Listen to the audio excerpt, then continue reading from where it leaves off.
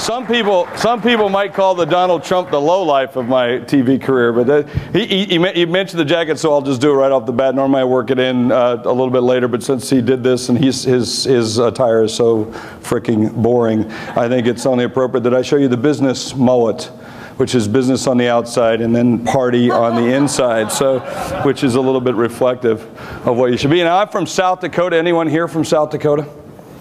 Never is, but I always like to ask. Uh, this is what we'd call population density right here. No, I'm not shitting you. You'd be like the fifth largest city in the state of South Dakota. People, that's funny. You can laugh. This is going to be a little different than the normal talks you've, you've seen today. And um, first time I'm being with you, and before we break for lunch, and you got Maynard, and we just had an unbelievable speaker just before, as all of them. I watched a couple.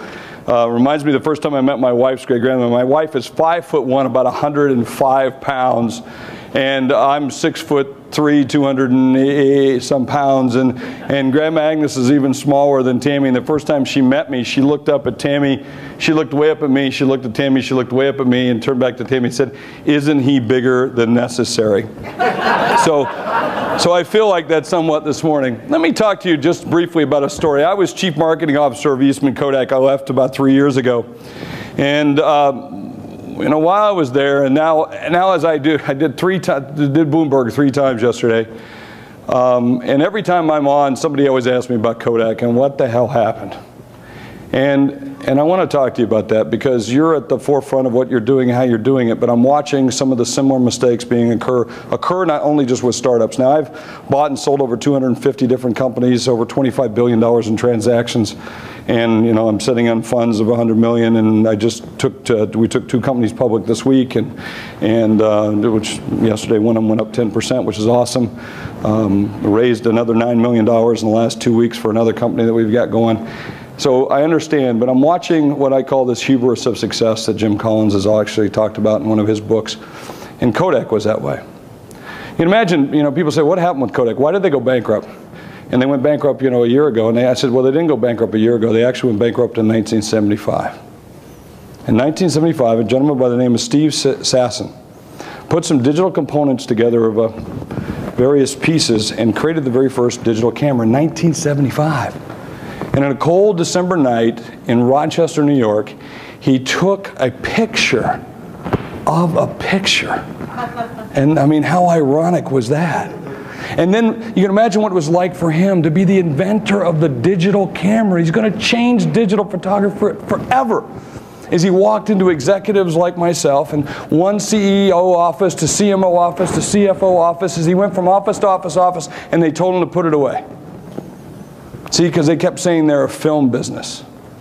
That's what they described themselves. They said, We're a film business.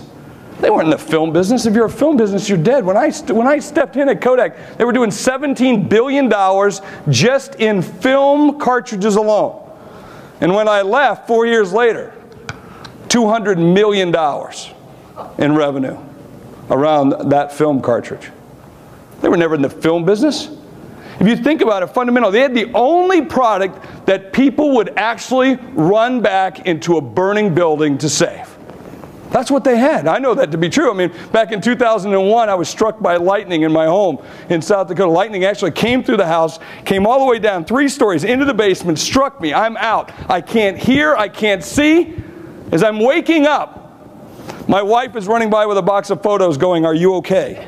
Right? Absolutely true story, gentlemen, just so you know where you, you rank. All right? Because even in a digital world, they'll be grabbing the hard disk running and saying, Are you okay? And the only product that people would run back into a burning building to save.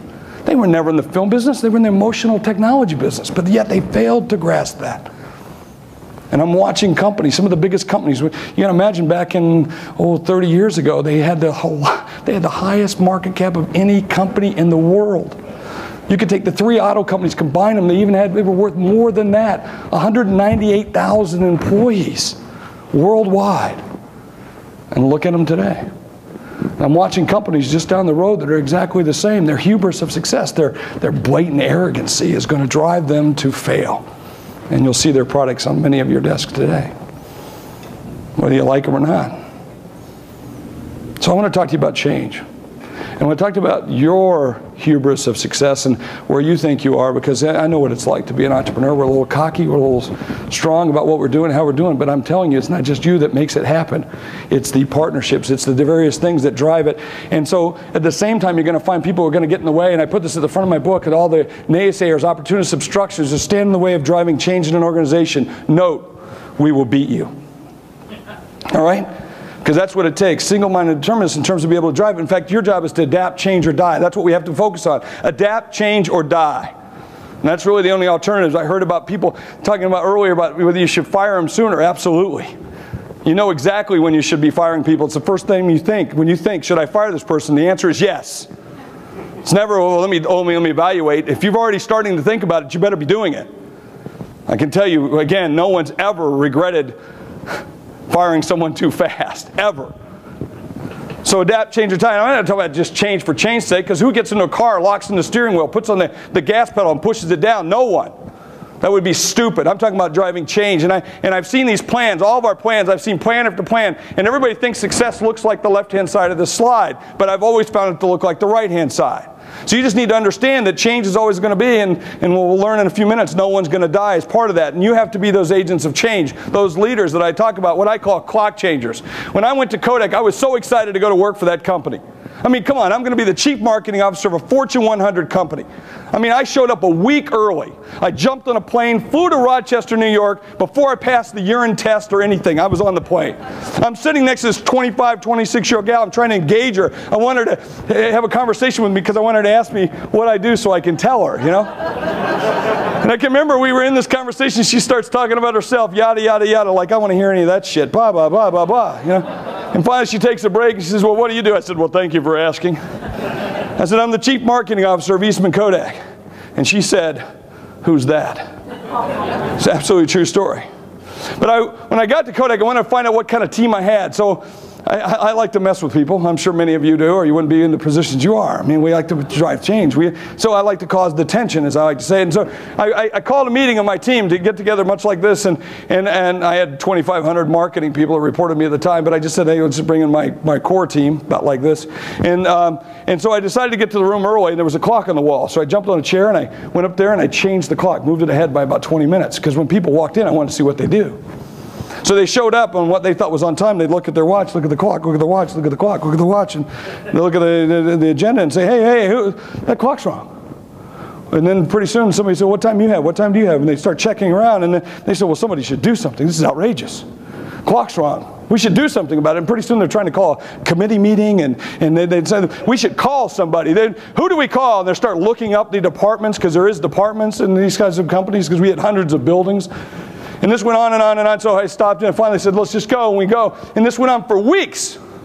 Every meeting, people walk in, look at the clock, look at their watch. They repeat this, and pretty soon, you know, frickin' committee meetings are dropping up and drafting policies about clocks changing. And finally, I said, why didn't somebody just do something about it? So this woman got up, she went over to the clock, she put a chair underneath her, she hiked up her dress, she stood on the chair, and she changed the frickin' clock. I named her my chief of staff the very next day.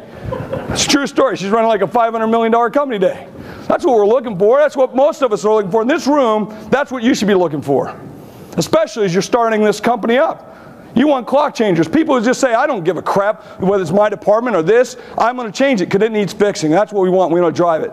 And we want to look for people who are driving those clock changing. In fact, we want problem solvers, not seekers. I don't need people bringing me freaking problems. I got that all day long. I want people who bring me solutions. Be looking for those people. Be looking for people who are cheerleaders to the process. People that are that, that want to change the process and see it and continually improve because that's what it should be. I call these people, you know, white buffaloes. White buffaloes. This is like where I've come from in South Dakota. These most sacred animals in the world. They stand out in the, in the middle of the herd. And by the way, everybody's going to be trying to attack them like wolves, trying to kill these things because they're different. But that's what we want. We want those clock changers, those, those seam operators that operate between the seams and across the seams. That's what we're looking for. I found that in everything that I've been doing over all these 250 businesses I've bought and sold and been a part of in some fashion, some good, some bad, there's five things that drive success or that people are afraid of in order to be able to win. Number one, fear that we're afraid. We should be afraid. It's different. Look, all my life I wanted to be a cowboy.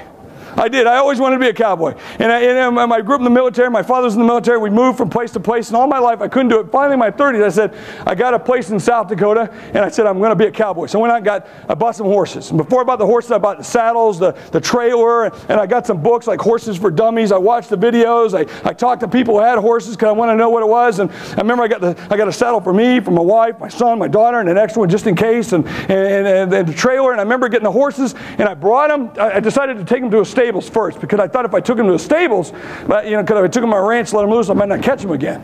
So, so I decided if I went to the stables, I could kind of like see what other people were doing and hang around. The horses be friendly and get to know the horses. You know how that goes. And then now I just don't give a shit. But now, but then, but then I really cared about all that stuff. And and so I remember I got the horses out and I'm I'm saddling for the first time because I'm riding my horse, man.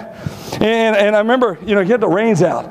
And I don't know if you've ever seen these things. The ears got to go here and there. It's it's, it's frustrating. And I put the bit in wrong. It's upside down. So I got to turn it around. And then I put the uh, blanket on, then the saddle, and, and then he starts bucking around. And so the saddle goes underneath him, and he's getting irritated.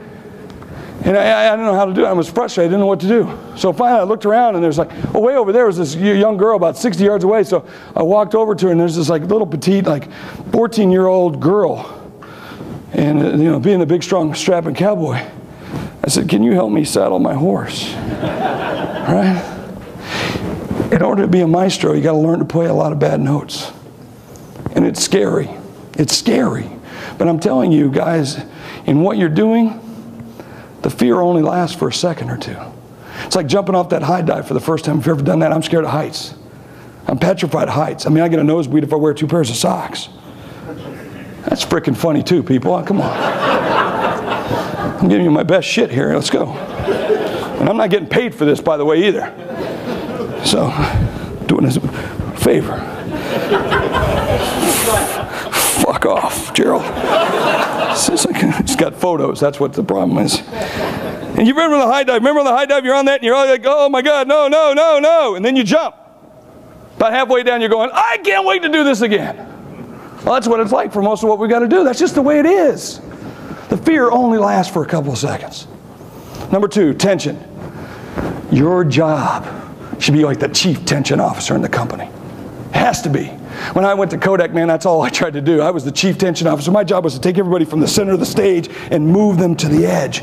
Oh, and then you're going to have people like HR and legal, those bastards. And you're going to have those people. Yeah, I'm telling you, that's what's going to happen. Those people are going to try to drag you back to the middle where it's safe and nice. You got to tell them that's not their job. See, their job is to make sure that you don't fall off. Help you set the parameters, but you set the business rules. You drive the business. You just got to tell them to keep you out of trouble. That's the job. That's their job. They have a saying in sports no pain, no gain. Now, why don't we have tension in business? You've got to put the business in tension at all times. Driving tension drives the gain that you have to have. Number three, radical transparency. I believe in operating radical transparency. In my first book, I eh, actually talked about when I owned a print shop and I was in cash trouble. Huge trouble and I wasn't honest with my employees. And one of them went out and made a mistake and tried to save me thousands and thousands of dollars and bought a truckload of paper when I couldn't afford it. Had I told him what kind of shape I was in at the time, he wouldn't have made that mistake. Almost put me under. See, employees will figure out when things aren't going well, when things are coming in COD, right? Or when you start buying a brand new Mercedes or maybe another fancier car or something like that, that things are going better be radically transparent. I think it's easier today, and I think you guys practice it more out here than any other part of the country, but I've always believed in just telling it like it is. That's at least paramount to what I do in my career. Number four, take risk.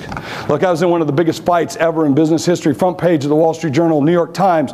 I was in this fight. We decided at Kodak to go into the inkjet business, to, to go up against the biggest company at the time in this business. I call them Big Ink.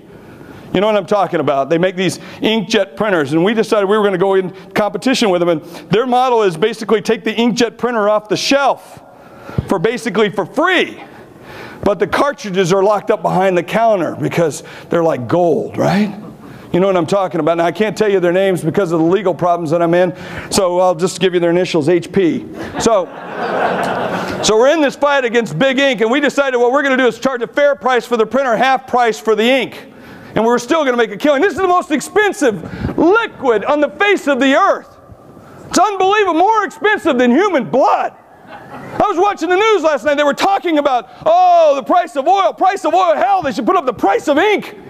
I'm telling you, you know, you know what's more expensive than oil? It's on the table right now, per ounce. More expensive than oil, bottled water. You know what's more expensive than bottled water? Huh? I'll get to that in a minute.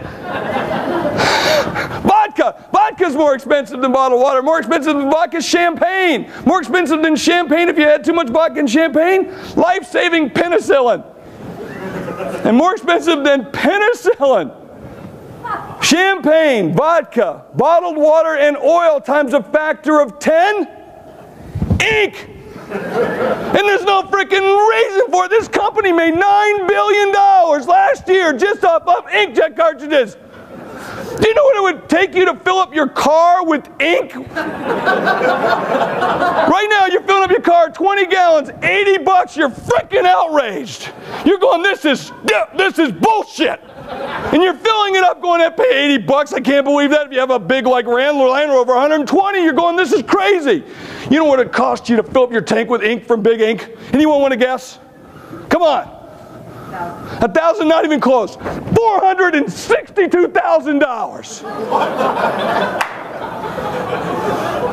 Now at Kodak, I was only going to charge you half that. Okay? because we cared.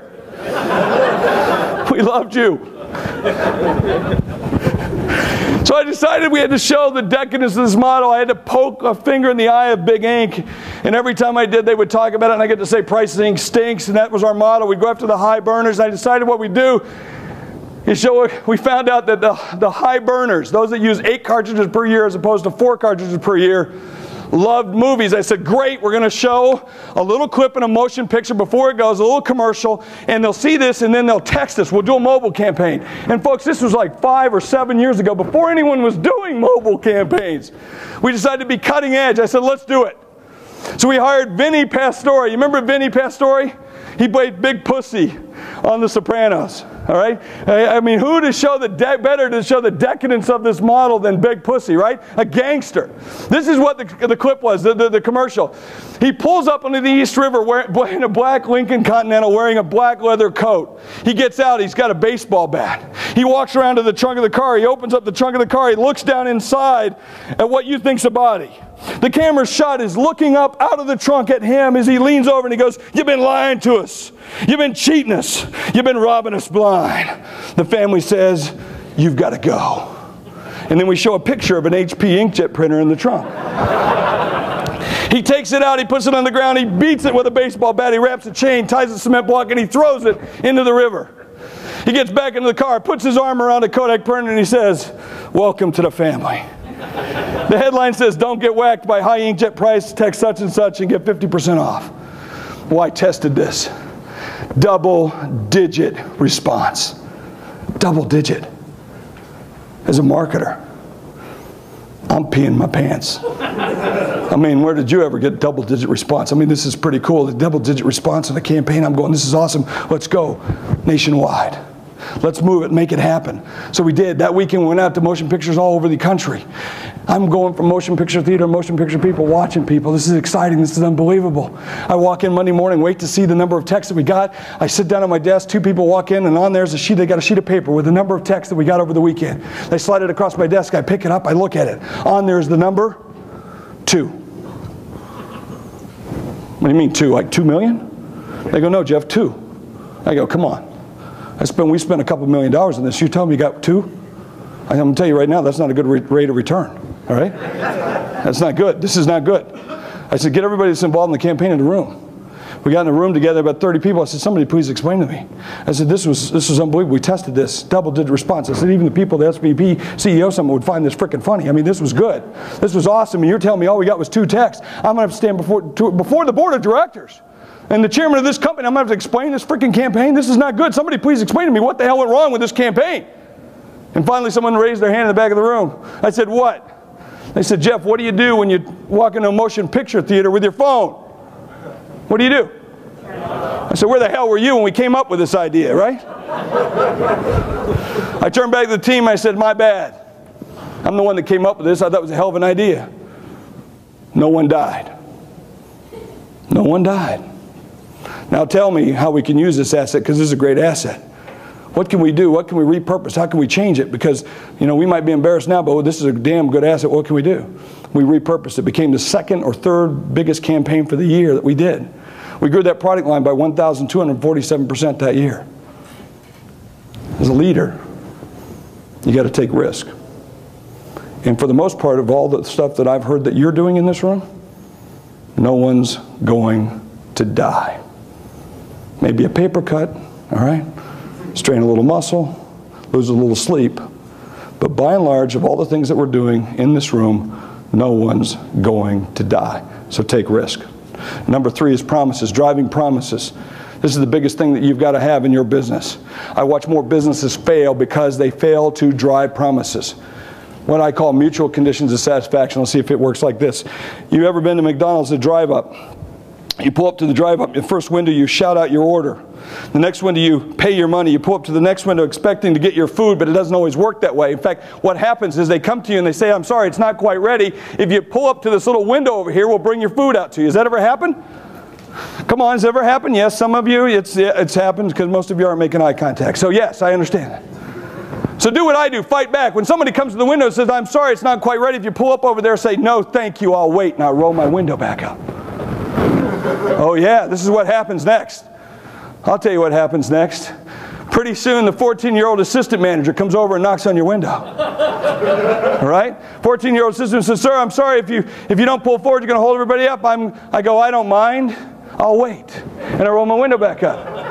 And you know why they do this? Do you know why these people do this? I'll tell you why. Because clowns lie. That's why they lie. Pretty soon the 16 year old manager comes over and knocks on your window. Said, Sir, is there a problem? I said, Yeah, there's a problem. You're asking me to pull over here to parking purgatory.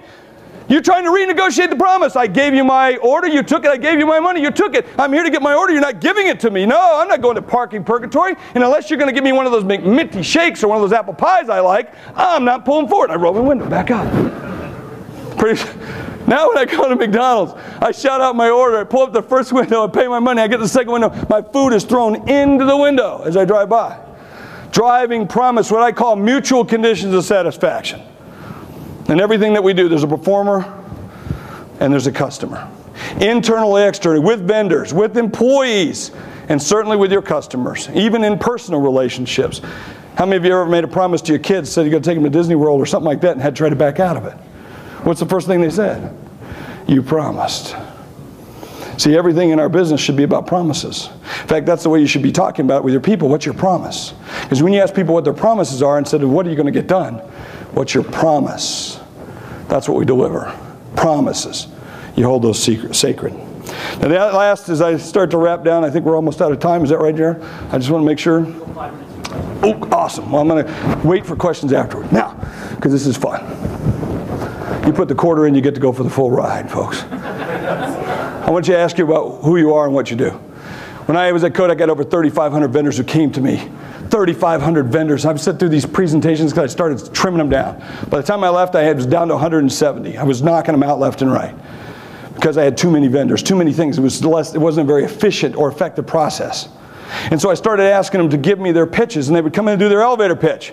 And their elevator pitch turned out to be like a 48 page PowerPoint presentation an hour. And an hour later, I still don't know what the hell these people did.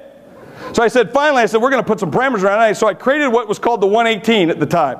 The 118, what I said, the new elevator pitch, because I live in South Dakota, the tallest building in the entire state's nine stories tall. It's a Holiday Inn City Center. Have you ever been there? Anybody? No? It's got one of those rotating ballrooms. Doesn't work anymore, but we have one, all right? It was cool back in college and high school. You take a date there. And then, but the bad thing was when you went to the bathroom and came back, she'd moved on you.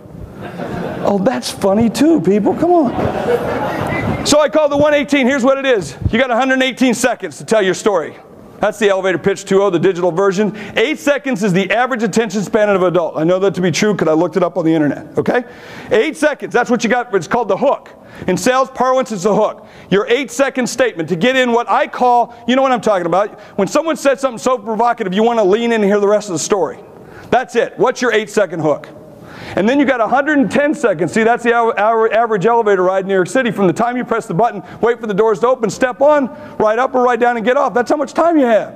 And some people say, well, that's not enough time. Don't tell me that. If Moses can do it in two PowerPoint slides of five bullet points each, he had something more difficult to sell. You can do this. And then, and then I know you're passionate. Just like I told you, the people at Kodak were passionate. They're passionate, but it takes more than just passion to run your business. I was passionate about pheasants. I love pheasants. A number of years ago, I started a pheasant farming operation. I tried to corner the market on pheasants till I realized there wasn't one.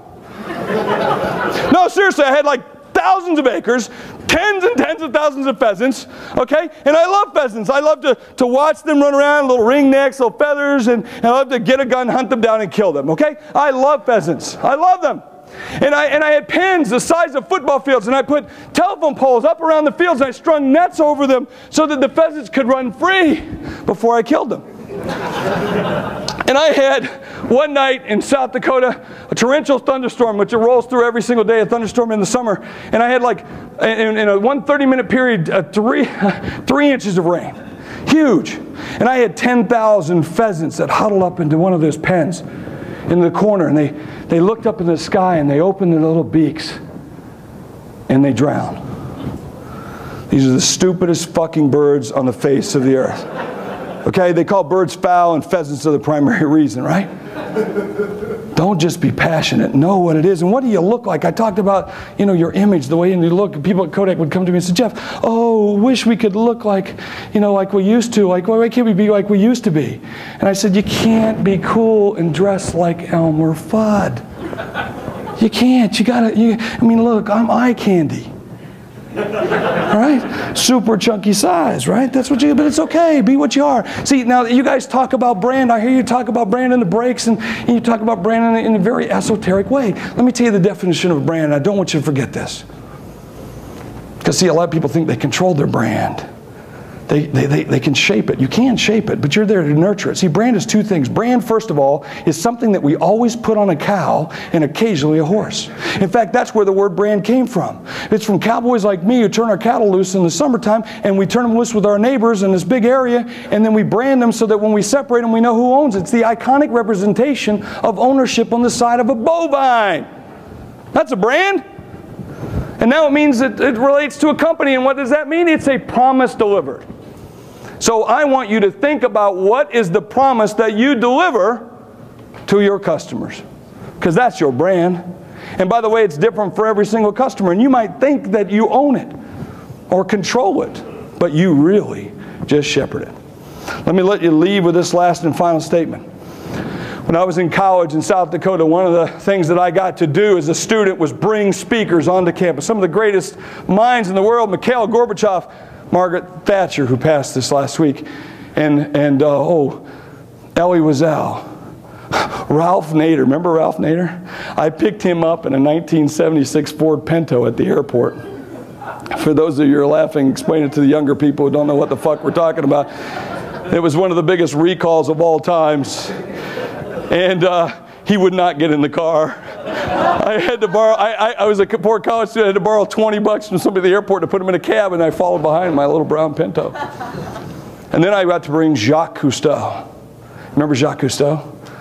Jacques Cousteau, one of my heroes. I used to watch, you know, on Sunday night I watched the, the Wonderful World of Disney. This is what we did when I was a kid. And then we watched the Mutual, King, Mutual of Omaha's Wild Kingdom. And then, and, then, and then we'd watch the undersea adventures of Jacques Cousteau. And, and here I was going out to dinner with him the night before, and, and we're having wine, and he's regaling me with all these stories. It was awesome. And he's telling me about this one story where he's down deep, about 110 feet underwater. And at that level, when you come up, you have to come up in stages because you might have you might get the bends. You have to decompress, and if you don't do that, you can die. And he was coming to the end of his, of his time and he was looking at his watch and seeing that he was running out of his air time. And, and so he was in a cave and as he started coming out of the cave, he severed his air hose. And at that, at that level of depth, the pressure is so intense that what little air he had left just streamed out. In a millisecond, he realized he's going to die if he doesn't get to the top. And even though he might risk getting the bends, he's going to go. And he takes off as fast as he can. And somewhere along the way, someone stops him, basically tackles him underwater, and it was his swimming buddy. And even though he was running low on air, he took off his mask and he shared it with Jacques. And they made their way in stages back and forth, and he made it to the very top. And as you know, because he told the story, he lived. But I said to him, I said, Mr. Cousteau, weren't you scared? Weren't you petrified? And he, this is what he said to me. He said, Jeffrey, one should never be scared when you're in good company. So today, if you look around, your hosts and the people around you, you're in great company. And thank you for allowing me to be in your company. I know we're running late, so you want to take questions? We'll take some questions. Let's take some questions. Who's got a question? Thank you. can clap if you want. That's all right. You can clap. Thank you. Nor normally it's a standing ovation, but we'll take the clapping as much as possible. Now you guys really know I work with Trump now at this point?